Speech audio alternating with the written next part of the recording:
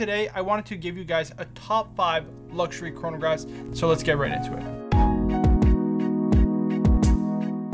At number one is one that I feel is totally underappreciated considering its history, and that is the Zenith El Primero. The El Primero was actually the first Swiss high beat automatic chronograph movement, and it was really a groundbreaking movement because it was the first of its kind. Although it technically wasn't first to market, that was Seiko actually who made the first automatic chronograph movement. Zenith was definitely one of the first, and it was a movement that is historic even to this day based on its history and based on its use by other brands. Take for example the Rolex Daytona and the reference 16520 that actually featured a modified El Primero movement. At the beginning of the quartz crisis, Zenith actually demanded all of their watchmakers to completely destroy all of the equipment and schemes to ultimately build the El Primero movement, to regulate it, to finish it, and so on. And so Zenith really thought that the future was quartz, and so it was almost the end of the El Primero movement as we know it today. However, it was because of the heroics of one watchmaker by the name of Charles Vermot, who actually took his brother-in-law and defied the orders of Zenith the company and literally hid all of the schemes and equipment to build the El Primero movement in an attic that you can actually visit today and is now part of actually the Zenith manufacturer and is a museum for Zenith because of that history. Now, the El Primero movement is not only historic, but it's been featured in a number of watches, one of which that I already mentioned, the Rolex Daytona, but it's also been featured by the likes of, say, for example, Daniel Roth, one of the most important independent watchmakers who really revived Breguet in the 70s and 80s. The Zenith El Primero has a number of distinctive characteristics. However, Zenith has done a great job to really modify and expand the line so that you can find the model that has an El Primero movement, but in a design that really speaks to you. For me personally, my favorite is really the classic Chronomaster El Primero with the tricolored subdials. That is the original and ultimately in my opinion, it is my personal favorite. But what's great is that you can get them in different variations and different price points to suit your needs and suit your collection and suit your personal taste and style. And so that gives you a variety and adaptability that just can't be found in many other watches and especially with chronographs themselves. I love the Zenith El Primero personally, and I definitely feel it belongs in a list of top 5 luxury chronographs given its history, given what it went through and almost disappeared completely, and given the fact that it's been used by other watches in this list. In fact, the second watch, which is one of the most iconic chronographs, arguably one of the most iconic watches ever, and that is the Rolex Daytona. Now, the Daytona has a very murky history, to be fair. It's almost technically a bit of a failure as a watch. It was originally the Cosmograph before it was the Daytona because it actually entered the space race along with the Speedmaster and other watches to be the first watch worn on the moon. And when Rolex ultimately failed at achieving that and was beat out by the Speedmaster, it became the Rolex Cosmograph Daytona as we know it, associating itself with the Daytona 500 races, which really rose to prominence in the 80s and 90s, which is when ultimately the name change occurred. Now, the Rolex Daytona comes in many variations, both in vintage and in modern, but even when you take into account its modern format, it is technically again, a little bit of a failure when you think about it, right? Because it doesn't have pump pushers. You actually have to unscrew the pushers. And then once you're ready to actually time whatever it is you need to time, by the time you're done unscrewing the pushers, it's already over. The race is done. You can't even get to time what you need to do. And so design-wise, that's kind of a flaw in my opinion for the Rolex Daytona. But there's no denying its history and its pedigree makes it one of the most collectible watches for that very reason, because it has a bit of a failure of a past, and because it's one of Rolex's most complicated watches, there's just not that many out there, and so collectors in mass really want to get their hands on one.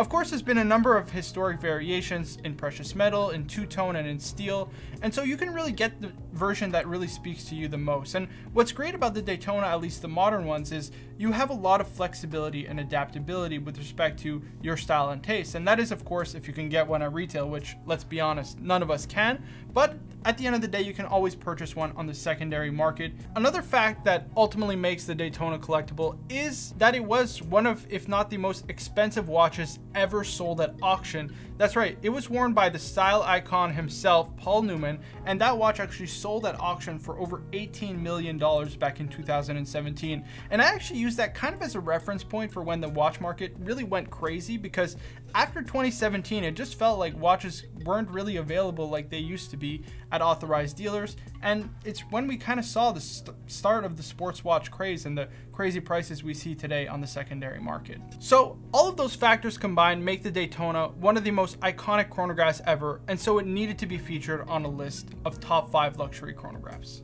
Moving up the horological ladder, we're going to talk about a brand that I personally am a huge fan of, and of a watch that I feel is one of, if not the very best, manual wind chronographs ever made, and that is the A. Lange & Söhne Datograph. It was actually a watch that was released in 1999, and it really took the watch world by storm. In fact, it completely embarrassed the Swiss, not for anything.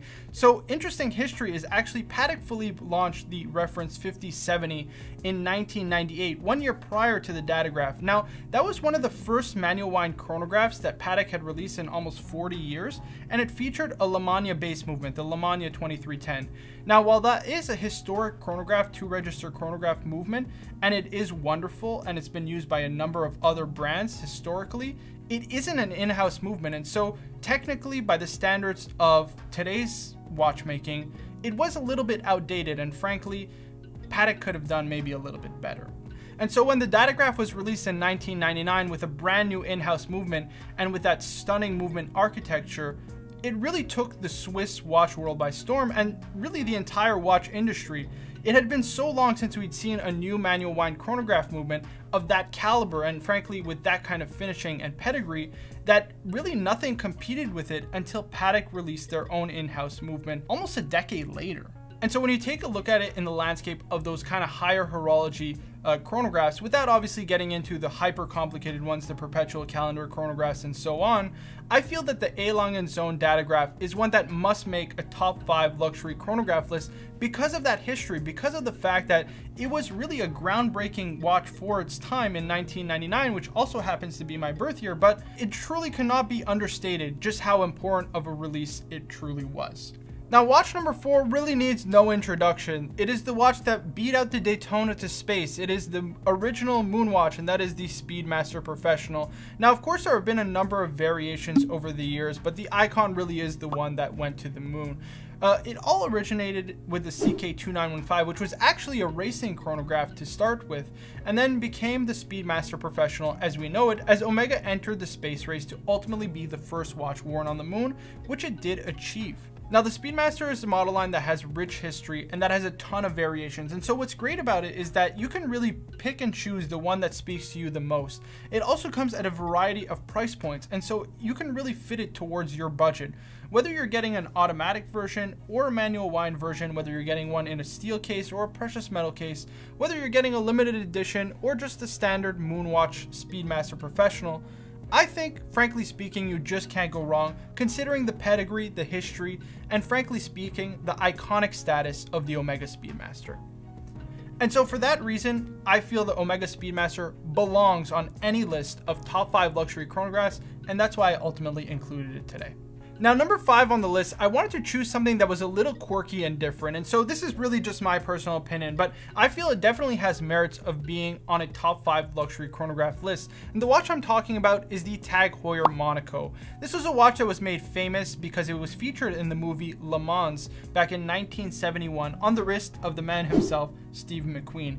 And I feel this is a watch that still has a very classic and contemporary design, given the fact that it's like over 50 years old now at this point, and yet it's something that's so unique and recognizable that it gets a ton of respect from watch collectors because you can really notice it from a mile away. Now for the fans of Breaking Bad out there, Actually, this was a watch that Jesse Pinkman gifted to Walter White. And so I think that's a tidbit of history that is kind of cool and interesting. And that does make me enjoy the Tag Heuer Monaco even more.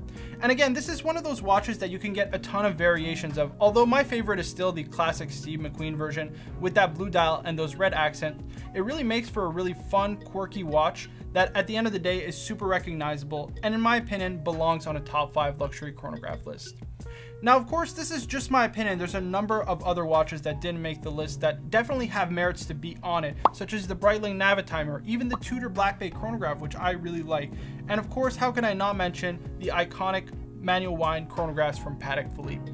But of course, again, I would love to hear your suggestions down in the comments below. Let me know what you think of my list and what are your top 5 favorite luxury chronographs. Guys, thank you so much for watching. Of course, I'd ask for you guys to hit the like button, to subscribe for more videos in the future, and guys, I'll see you in the next one.